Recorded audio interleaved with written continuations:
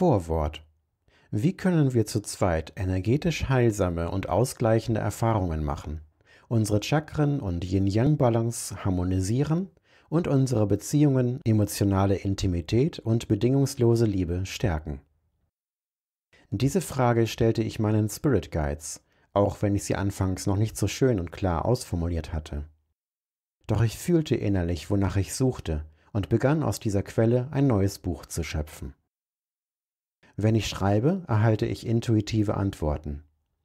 Es bin immer noch ich selbst, der schreibt, der die richtigen Worte findet, doch ich erspüre die Bilder, Gefühle und Visionen, die mir meine Spirit Guides aus den höheren Dimensionen zeigen.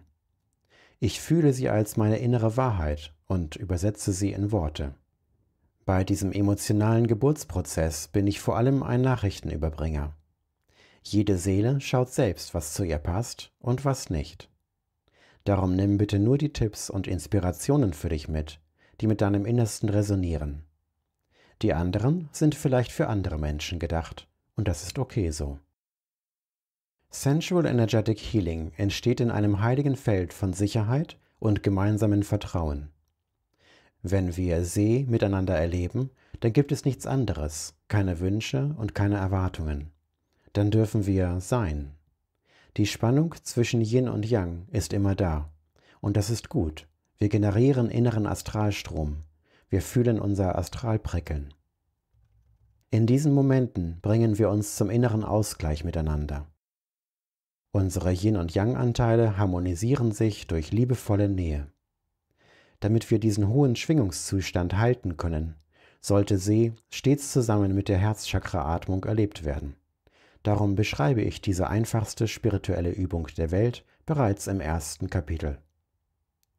Wenn wir in unserem Herzen sind, lernen wir unsere Verbindung miteinander und unsere bedingungslose Liebe füreinander. Wir sind eins. Spüren wir es. Beim Schreiben dieser Worte höre ich mir gerade inspirierende Musik an. Zeitgleich spiele ich das gleichmäßige und sanfte Atemgeräusch einer Frau ab. Die beiden Lautstärken habe ich individuell angepasst, das Atmen ein bisschen lauter, damit es eine harmonische, schöne Mischung ergibt. Ich liebe dieses gleichmäßige Atmen. Es symbolisiert Nähe. Hurra, ich bin ein Mensch. Vor kurzem habe ich mir dieses Menschsein in einer virtuellen Lichtkreismeditation zusammen mit einigen lieben Freunden erst richtig erlaubt.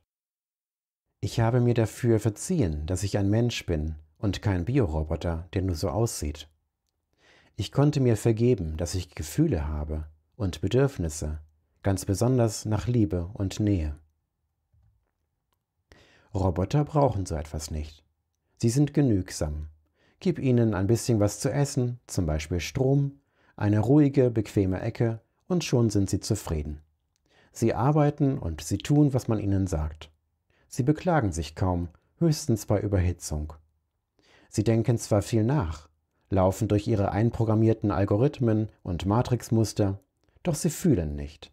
Das macht sie zu einfachen, gefolgsamen Helfern. Hurra, ich bin ein Mensch ist eine ehrliche, liebevolle und erwachsene Huldigung des Menschseins. Näheliebende Seelen werden sich besonders angesprochen fühlen, den anderen geben wir noch ein bisschen Zeit. Vielleicht möchten sie das Buch erst zweimal lesen, bevor sie sich ebenfalls dafür verzeihen können, dass sie Mensch sind. Wir haben das Menschsein künstlich in uns unterdrückt, durch unsere selbst aufgebauten Systeme, unsere grandiose, aber kalte Technik, unser modernes Denken und Urteilen. Können wir uns unser Menschsein vergeben? ganz tief in unserem Inneren? Können wir hineinhorchen, was sich unsere Seele wünscht und weswegen sie auf diesem Planeten inkarnieren wollte? Wir wollten Liebe erfahren.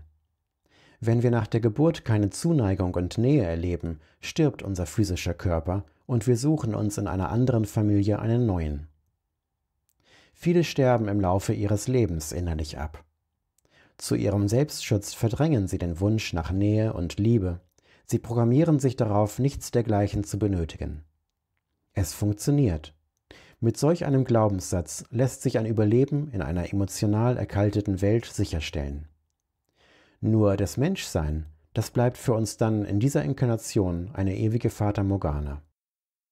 Wir denken dann, wir wären Menschen, doch wir erleben es nicht, weil wir uns genauso wie die anderen vorsichtigen und zurückgezogenen Bioroboter in Menschenform in unser emotionales Schneckenhaus zurückziehen und uns darin so klein wie möglich machen, um bloß nicht zu viel zu fühlen.